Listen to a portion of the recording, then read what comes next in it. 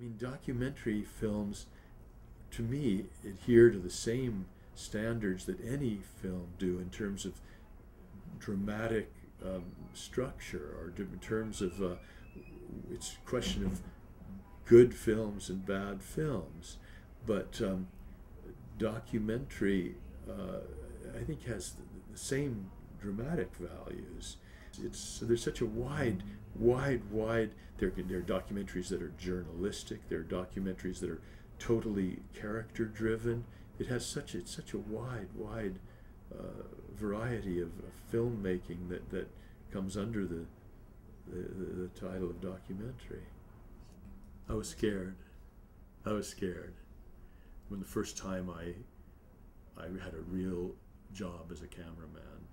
But you have to realize we weren't working with video equipment then, either videotape or, or with memory cards.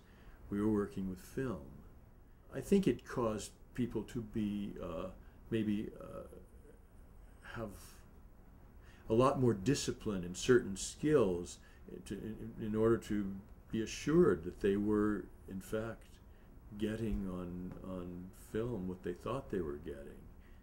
But um, I was, I mean, a certain amount of fear is not bad either because it keeps you on on your toes.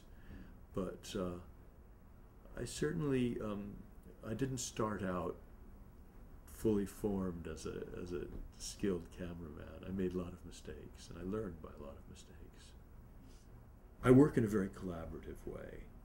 Um, the assistant that I work with, the sound person that I work with, I, I hope hope it's a very respectful one, and um, I consult with them. I, I'm open to their ideas too, because I think when you everyone has ideas. I mean, ultimately, the director is the person who has to say yes, and this is the way we're going to go.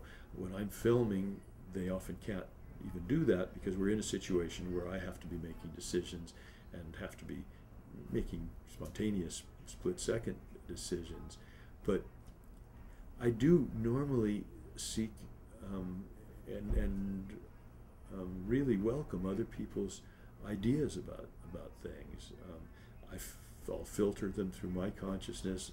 I'll reject some and, and take others, but I hope my my colleagues feel comfortable giving me suggestions, as I hope the director that I work in feels comfortable um, getting them from me. Um, otherwise, I wonder why they would even hire me. You know, I I'll usually have as much discussion as I can with the director about what it is they're trying to achieve there might be things that I can read to do research. Um, two, hopefully, I can scout locations. To um, sometimes, but not always, meet the characters involved. I need, I think, to do my best work, I need to, in some way, make the subject my own. I have a very particular relationship to the, to the subject. It's not simply a question of fulfilling the director's goals, but, but I do need to do that as well. But I think I can do it, do that best when I find a particular way to enter into the subject and make it somehow my own. And one of the ways that I'm most interested and excited to do that is to find the mystery in it, the mystery about a particular character, what makes him or her tick, what makes them act the way they do, um, or whatever the mystery might, might be about a particular subject. You know, I've had lots of discussions over the years about this, and I, as you suggest, started out in, in film. Yes, they have a different, a little different quality, um, but in terms of something being more immediate, I, I question that. I doubt it really. Um, it might have early on, simply because it was lit more flatly. It, it was uh, there was something just generally more flat about video.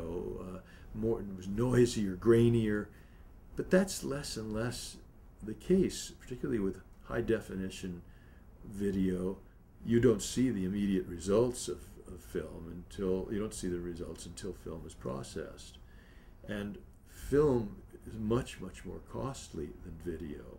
I think that people who grew up with film are much more, um, I think, generally much more thinking about editing um, than people who simply working in video. I mean, even now though, when I'm working in video, and I'm work, I work with in, in, with solid state video, where I'm shooting on memory cards that can hold two hours. I mean, and you can have two uh, two hour uh, two two slots. You can shoot four hours of video. It used to be that we could only shoot uh, ten minutes. It, it does result in people maybe shooting too much, and uh, that it's in terms of video, it's it's it's no it's not necessarily a, a, an advantage to have so much shooting. You, I mean, it, it maybe it maybe uh, limits your your critical faculties. You just say, "Oh, it doesn't matter. We, I'll just we just shoot endlessly, endlessly, endlessly."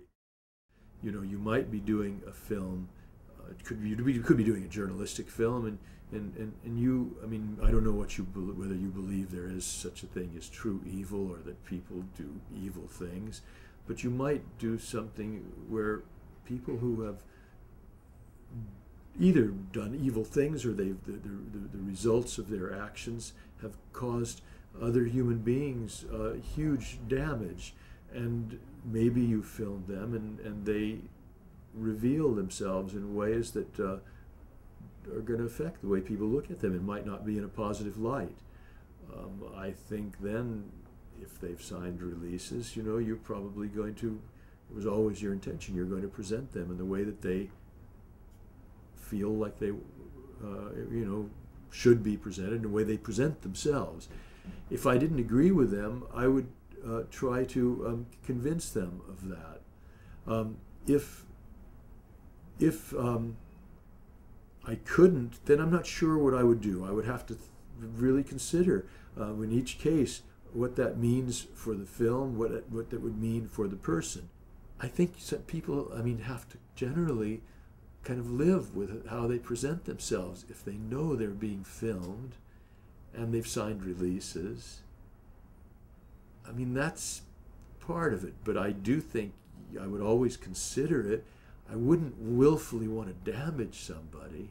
It's a complex question. It's a good question. I don't know. What do you think?